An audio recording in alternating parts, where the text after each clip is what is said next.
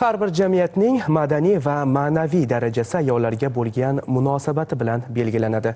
Mamlakatimizda ayollarga munosabat tubdan yangilangan ularni ichki va tashqi tajovuzlardan asrash konstitutsiyaviy huquqini himoya qilish davlat e'tiboridagi masalaga aylandi. Afsuski ijtimoiy tarmoqlarda turli sabablarga ko'ra jabrlangan ayollar haqidagi xabarlarni ham o'qib turibmiz. Ayollarning ba'zilari o'z yurti, o'z uyida yashab turib ham tazyiqqa uchrayotgani har qanday sog'lom odamni fikrli e, o'ylashga majbur etadi. Ijtimoiy tarmoqlarda Jizzax shahrida ayol mahalladoshi tomonidan pichoqlangani haqida xabar tarqaldi. Muxbirimiz o'z lavhasida ushbu ayanchli voqea tafsilotlari haqida to'xtaladi.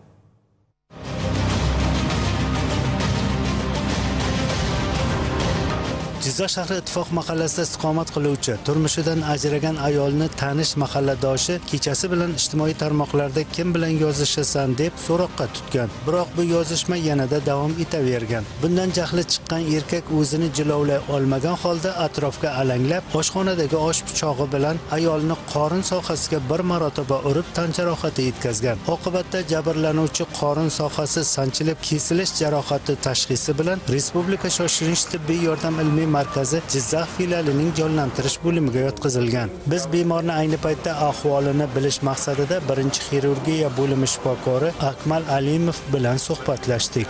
kelgan paytda ahvoli og'irligi sababli bemor operatsiyaga olindi qorin bo'shlig'iga sanchilib kesilib kiruvchi jarohat tufayli bemorni o'sha ichaklariga zarar yetgan va katta charvi jarohati natijasida o'sha bir litr bir yarim litr atrofida qon ketgan. Operatsiya davomida o'sha ikki ikki yarim soat vaqt e, davom etdi va bemorga yordam ko'rsatildi hayoti saqlab qolindi. Operatsiyadan keyingi yettinchi sutka bemorni ahvoli qoniqarli e, bunga endi ambulator sharoitda javob berilmoqda. Jizzax viloyati ichki ishlar boshqarmasi axborot xizmati ma'lumotlariga ko'ra holat yuzasidan ayni kunda jinoyat ishi qo'zg'atilgan.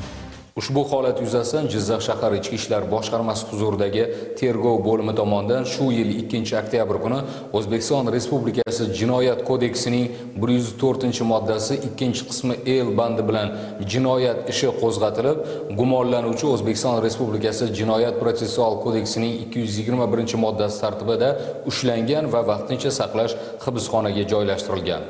Hozirda tergov harakatlari olib borilmoqda.